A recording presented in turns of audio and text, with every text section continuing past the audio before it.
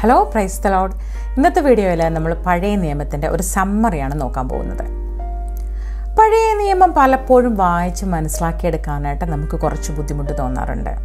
വായിച്ചു തുടങ്ങി കുറച്ച് കഴിയുമ്പോഴേക്കും കുറച്ച് പുസ്തകങ്ങൾ കഴിയുമ്പോഴേക്കും ആ കണക്ഷൻ നമുക്ക് വിട്ടുപോകുന്നതായിട്ട് തോന്നാറുണ്ട്. അതിനൊരു കാരണമുണ്ട്.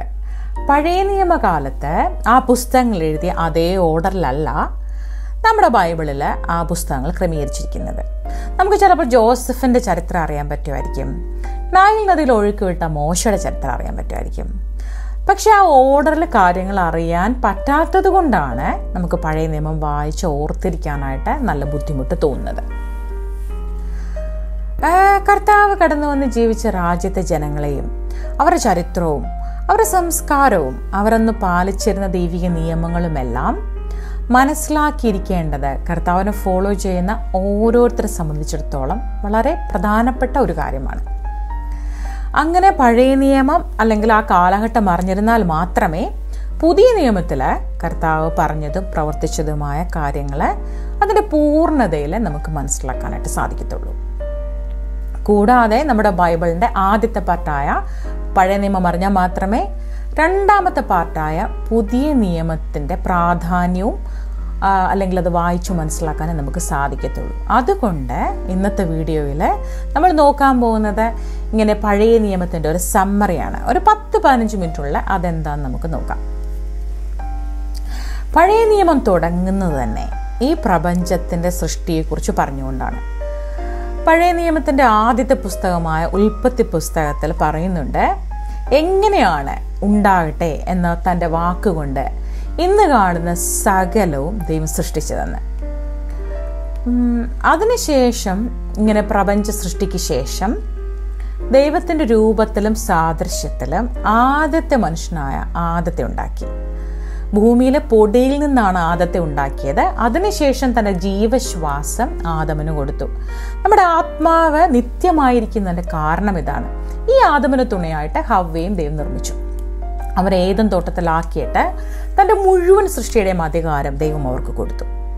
പക്ഷേ പിശാചിന്റെ വഞ്ചനയിൽപ്പെട്ട് അവർ ദൈവം പറഞ്ഞനുസരിക്കാതെ പാപം ചെയ്തതിന്റെ ഫലമായിട്ട് അവർ രണ്ടുപേരെയും ദൈവം ഏതും തോട്ടത്തിൽ നിന്ന് പുറത്താക്കി. വളരെ കുറച്ച് തലമുറകൾ കൊണ്ട് തന്നെ ഭൂമി മുഴുവനും അതിക്രമവും ദുഷ്ടതയും വഞ്ചനയും കൊണ്ട് നിറഞ്ഞു.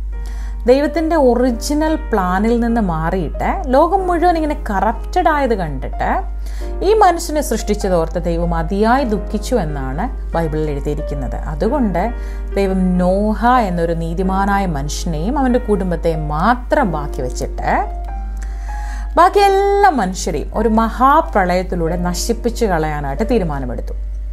എന്നിട്ട് എല്ലാം ഒന്നും തുടങ്ങണമെന്നും ദൈവം തീരുമാനമെടുത്തു. അങ്ങനെ തന്നെ സംഭവിച്ചു. നോഹയ്ക്ക് ശേഷം ഏകദേശം പത്ത് തലമുറ കഴിഞ്ഞപ്പോഴേക്കും ദൈവം അബ്രഹാം എന്നൊരു വ്യക്തിയെ പിന്നീട് തിരഞ്ഞെടുത്തു. അബ്രഹാമുമായിട്ട് ദൈവം ഒരു ഉടമ്പടി ചെയ്തു. അബ്രഹാം ദൈവത്തോട് വിശ്വസ്തനായിട്ടാണ് ജീവിച്ചത്.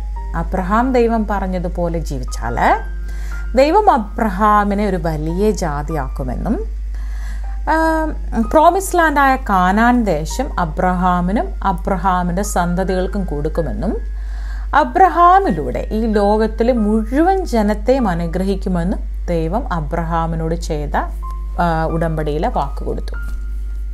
അബ്രഹാമിന് ഇസ്ഹാക്ക് ജനിച്ചു. ആ ഇസ്ഹാക്കിൽ നിന്ന് യാക്കോബ് ഉണ്ടായി. ഈ യാക്കോബിൽ നിന്ന് പിന്നീട് പന്ത്രണ്ട് മക്കൾ ജനിച്ചു. ഈ യാക്കോബിനെയാണ് പിന്നീട് ദൈവം ഇസ്രായേൽ എന്ന പേര് നൽകി വിളിച്ചത്. ഈ യാക്കോബിനുണ്ടായ പന്ത്രണ്ട് മക്കൾ പിന്നീട് ഇസ്രായേലിന്റെ പന്ത്രണ്ട് ഗോത്രങ്ങളായിട്ട് തീർന്നത്. യാക്കോബിന്റെ ഏറ്റവും പ്രിയപ്പെട്ട മകനായിരുന്നു ജോസഫ്. ഈ ജോസഫിനോട് യാക്കോബ് കാണിക്കുന്ന പ്രത്യേക സ്നേഹവും വാത്സല്യവും മറ്റുള്ള മക്കളിൽ കുറച്ച് അസൂയുണ്ടാക്കി.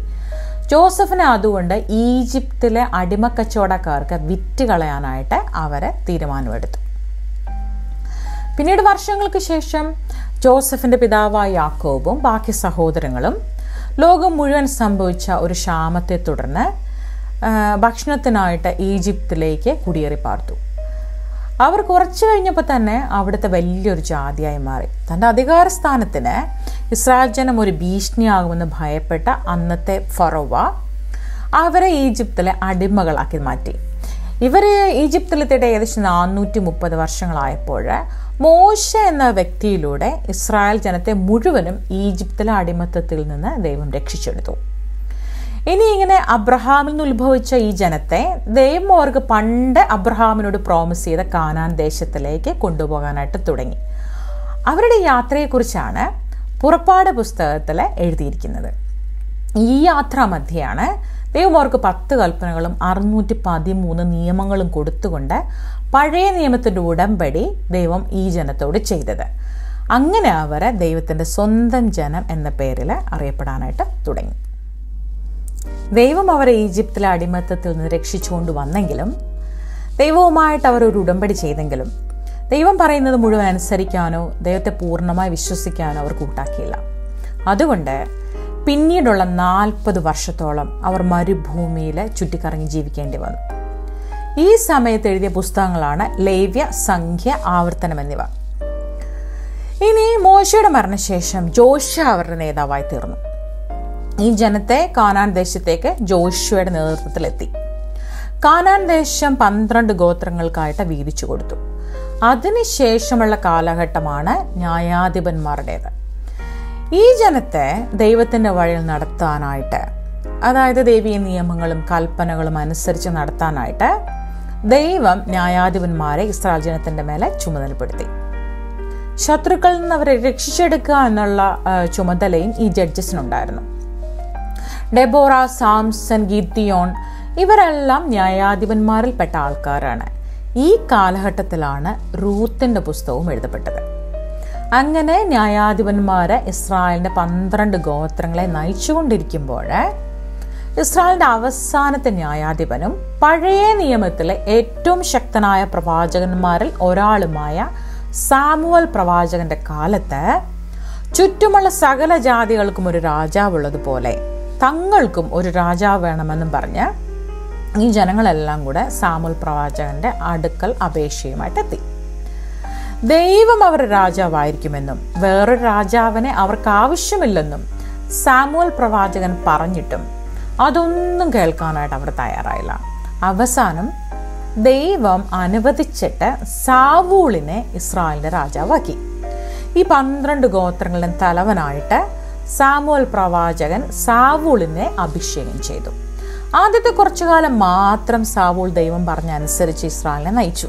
പക്ഷേ അധികം താമസിയാതെ തന്നെ ദൈവം പറയുന്നത് അനുസരിക്കാതെ സ്വന്തം ഇഷ്ടപ്രകാരം അനേകം മോശം തീരുമാനങ്ങളെ സാവൂൾ എടുത്തു. അതിനെ തുടർന്ന് ഇസ്രായേലിന്റെ രാജാവ് എന്ന സ്ഥാനത്ത് നിന്നും ദൈവം സാവൂളിനെ നീക്കിക്കളഞ്ഞു. പിന്നീട് ആ സ്ഥാനത്തേക്ക് പകരം രാജാവായി തീർന്നത് ആട്ടിടയനായ ദാവീദാണ്. പക്ഷെ എല്ലാ മനുഷ്യരും പോലെ ദാവീദിനും കുറവുകളുണ്ടായിരുന്നു.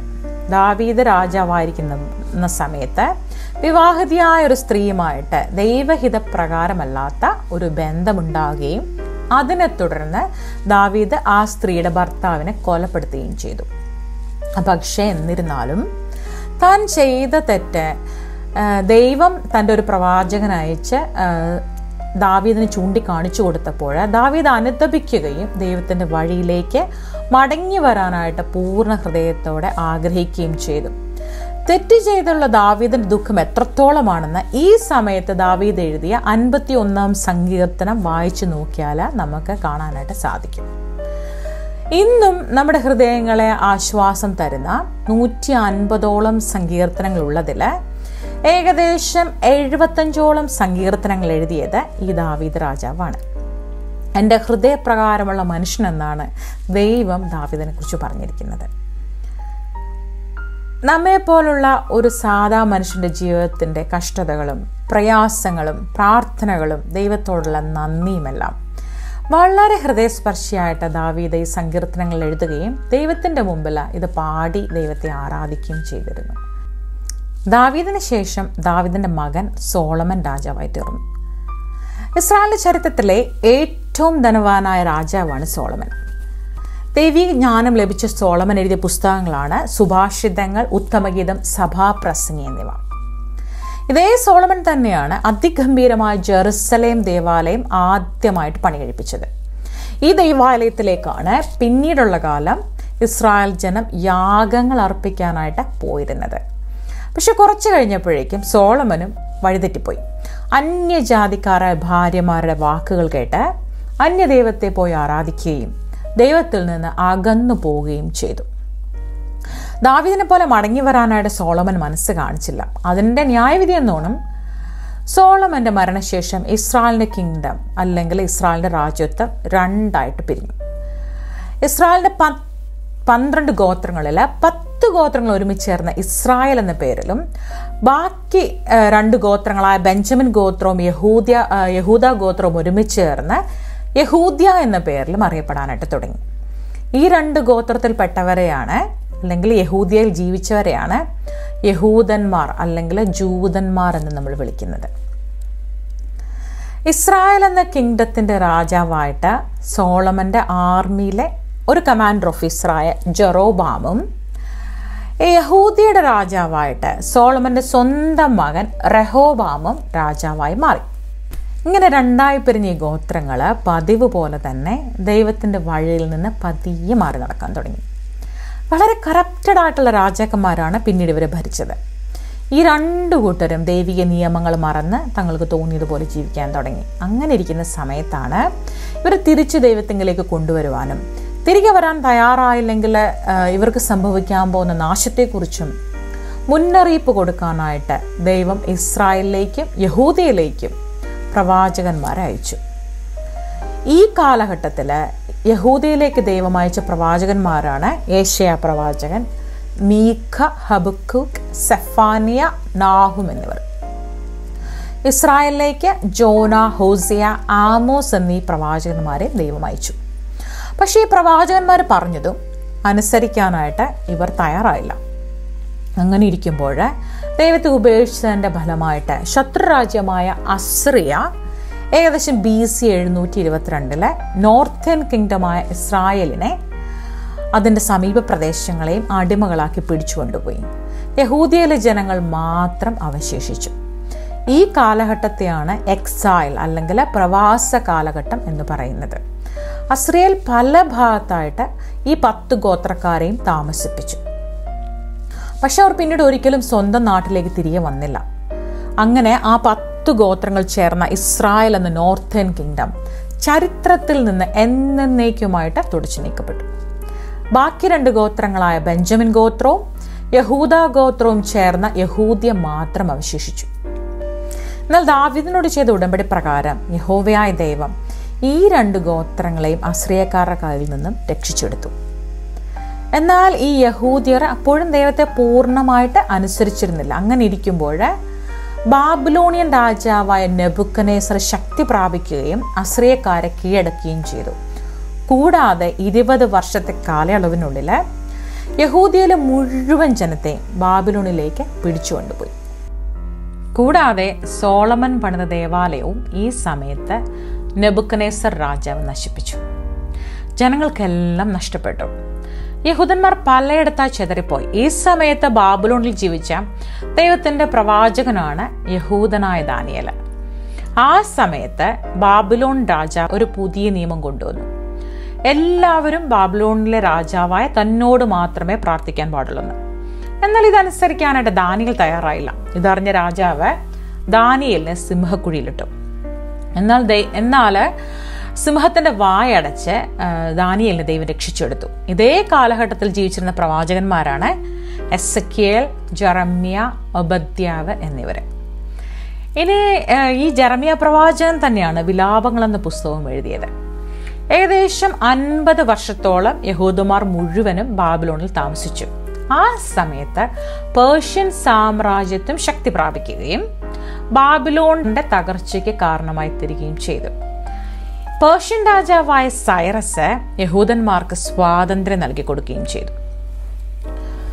സെറൂബാബലിന്റെയും എസ്രയുടെയും നെഹമ്യാവിന്റെയും നേതൃത്വത്തിൽ മൂന്ന് ഘട്ടം ഘട്ടമായിട്ട് യഹൂദന്മാർ സ്വന്തം നാട്ടിലേക്ക് തിരികെ വന്നു.